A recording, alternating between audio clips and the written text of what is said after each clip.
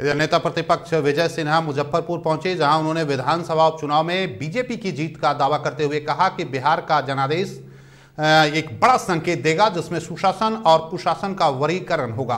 वहीं प्रशांत किशोर पर प्रतिक्रिया देते हुए विजय सिन्हा ने कहा कि प्रशांत किशोर नीतीश कुमार के प्रिय हैं। जीतने जा रहे हैं, बिहार का जनादेश बड़ा संकेत देगा।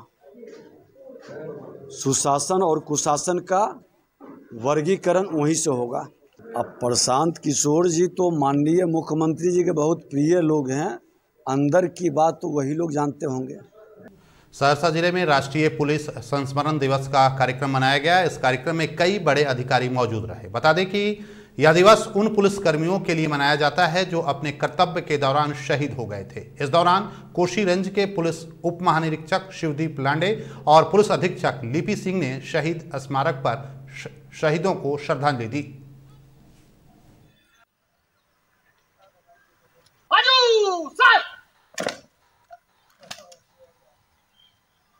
दो सौ इकसठ पुलिस के लोग हैं जो कि पिछले वर्ष शहीद हुए, जिसमें बिहार राज्य के हमारे साथ साथी भी हैं।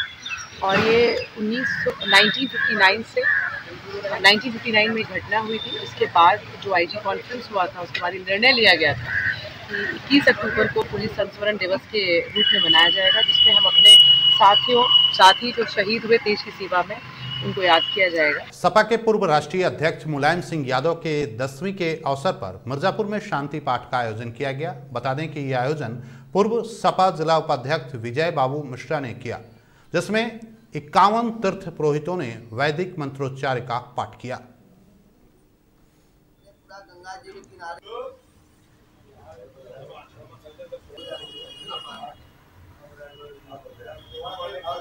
आज श्रद्धे नेताजी के, आज श्रद्धे नेताजी के दसवां है, उसी के उपलक्ष्य में हम लोग यहाँ विंध्याचल धाम में इक्यावन पंडितों द्वारा नेताजी के आत्मा के शांति के लिए हाँ शांति पाठ का आयोजन किया।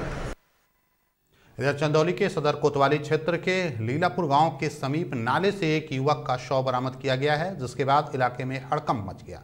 बता दें कि मृतक की शिनाख्त शेरुका गाँव निवासी के रूप में हुई है, वहीं मृतक के परिजन मामले में हत्या की आशंका जता रहे हैं। दूसरी ओर, सूचना पर पहुँचे पुलिस ने शव को कब्जे में लेकर पोस्टमार्टम के लिए भेज दिया है।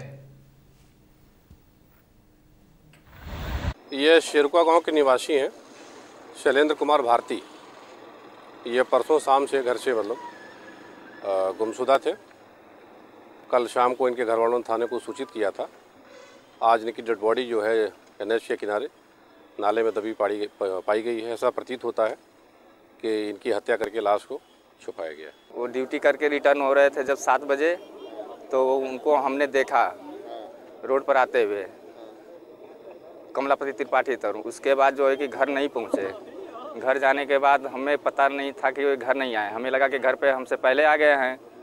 और जब हमें पता चला तो लगे कॉल करने, कॉल करते करते हम लोग बारह बजे रात तक कॉल किए। रिंग पूरी जा रही थी। लेकिन पिकअप कोई नहीं कर पा रहा था औरैया के विधुना कोतवाली क्षेत्र के बिजौड़ा ग्राम में तेज रफ्तार डंपर ने स्कूल जा रही छात्रा को रौन दिया, जिसमें मौके पर ही उसकी मौत हो गई, जिसके बाद सूचना पर पहुँची पुलिस ने ट्रक को कब्जे में लेकर शव को पोस्टमार्टम के लिए भेज दिया है और आगे की कार्रवाई में जुट गई है।